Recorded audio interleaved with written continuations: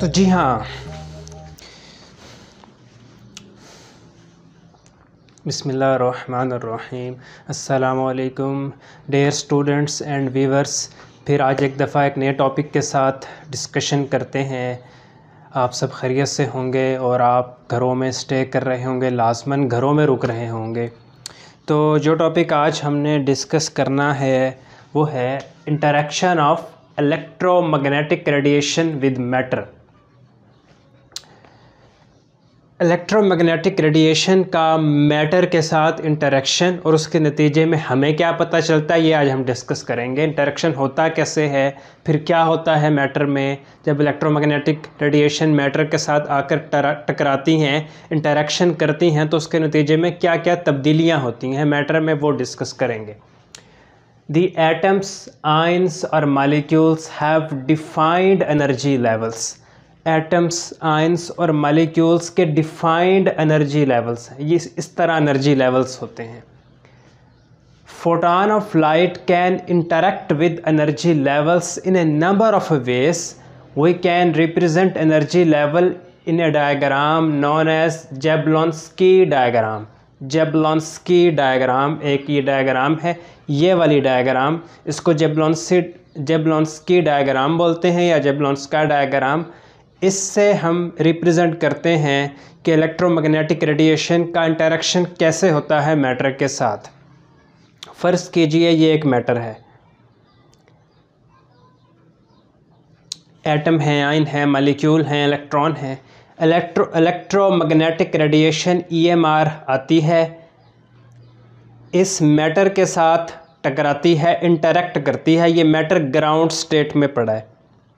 तो ये मैटर इसके इलेक्ट्रॉन ये एक्साइटेड स्टेट में चला जाता है। ये है एक्साइटेड स्टेट ये है ग्राउंड स्टेट ये है first excited state second excited state third excited state so on ये है ग्राउंड स्टेट तो जब इलेक्ट्रोमैग्नेटिक रेडिएशन आकर मैटर के साथ इंटरेक्ट करती है तो मैटर के वैलेंस इलेक्ट्रॉन एक अपर एक्साइटेड स्टेट की तरफ़ चले जाते हैं। ये इस इंटरेक्शन के नतीजे में कब एक्साइटेशन होगी? कब एक्साइटेशन होगी?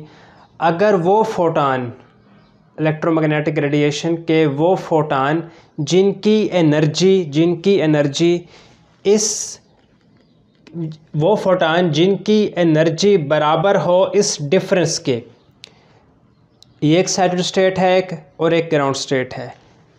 इनका जो एनर्जी डिफरेंस है, आप इसे E one minus E naught कह लें। एनर्जी डिफरेंस, डेल्टा ई, जो कि एच म्यू के बराबर है।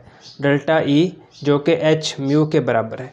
अगर ये एनर्जी डिफरेंस बराबर हो उस फोटान के जो आके टकरा रहा है, ये एनर्जी डिफरेंस, यानी ये वाली एनर्जी का लेवल, ये एनर्जी बराबर हो उस फोटान की एनर्जी के जिसने आके इंटरेक्ट करना है तो एक्साइटेशन होती है।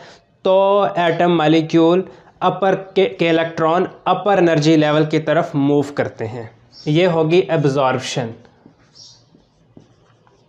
फोटान ने ईएमआर मैटर ने ईएमआर के फोटान को एब्जॉर्ब किया और ग्राउंड स्टेट से एक्साइटेड स्टेट की तरफ़ चला गया इस एब्जॉर्बशन के नतीजे में। एब्जॉर्बशन कब होती है?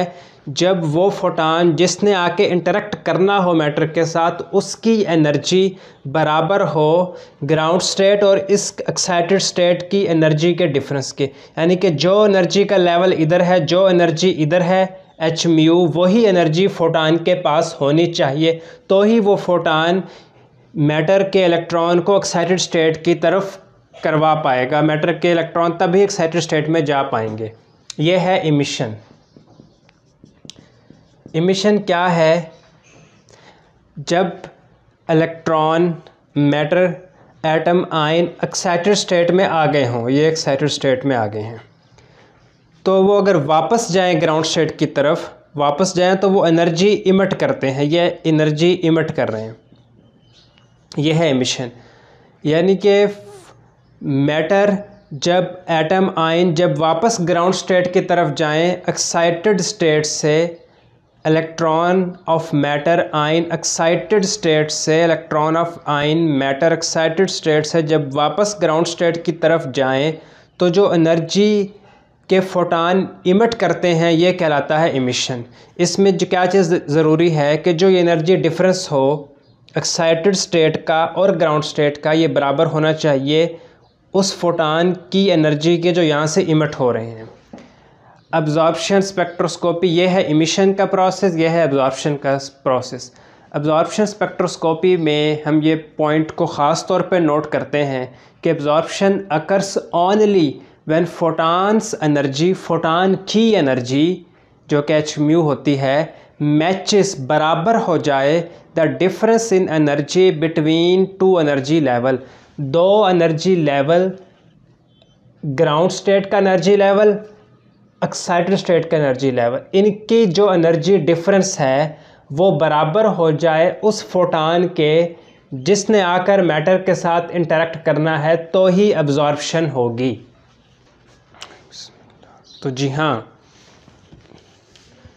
है एब्जॉर्बेंस और emission when a sample absorb EMR the number of a photon passing through sample decrease फ़र्ज़ कीजिए कि ये एक सैंपल है।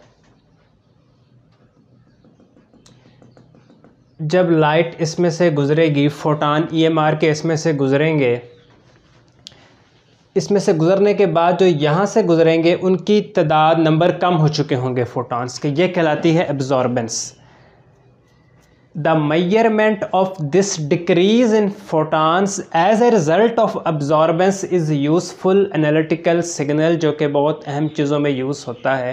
फिर है इमिशन व्हेन एन एटम और a molecule in an excited state returns to a lower state this energy released as a photon is called emission अगर कोई एटम यहाँ हो कोई कोई मैटर यहाँ हो, कोई इलेक्ट्रॉन यहाँ हो तो ये ये एक एक्साइटेड स्टेट है तो यहाँ से वो यहाँ आए तो तो वो फोटान रिलीज़ करेगा। ये चीज़ कहलाती है इमिशन यानी एक्साइटेड स्टेट से लोअर स्टेट में आते हुए अगर फोटान रिलीज़ करे मैटर तो वो चीज़ कहलाती है इमिशन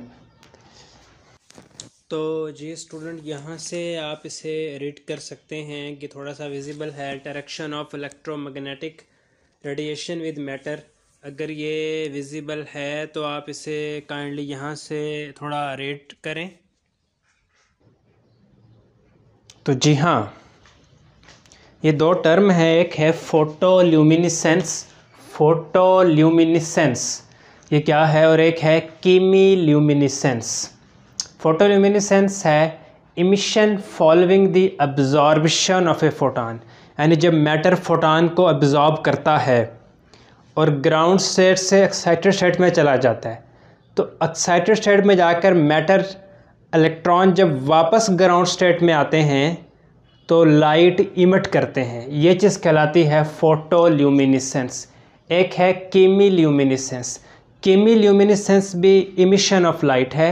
लेकिन chemiluminescence emission of light है as a result of chemical reaction chemi chemical reaction के नतीजे में जो इमिशन ऑफ़ लाइट हो, उसको कीमी ल्यूमिनेसेंस कहते हैं।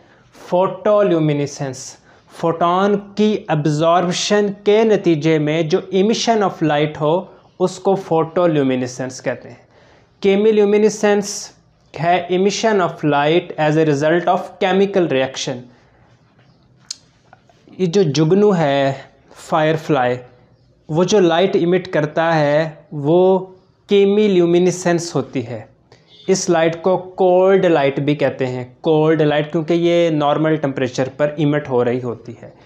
जुगनू के अंदर एक प्रोटीन होती है ल्यूसीफेरिन ल्यूसीफेरिन ल्यूसीफेरिन प्रोटीन की एरियल ऑक्सीडेशन होती है। In the presence of enzyme luciferase तो लाइट इमिट होती है जिसको हम कीमी ल्यूमिनिसेंस कहते हैं।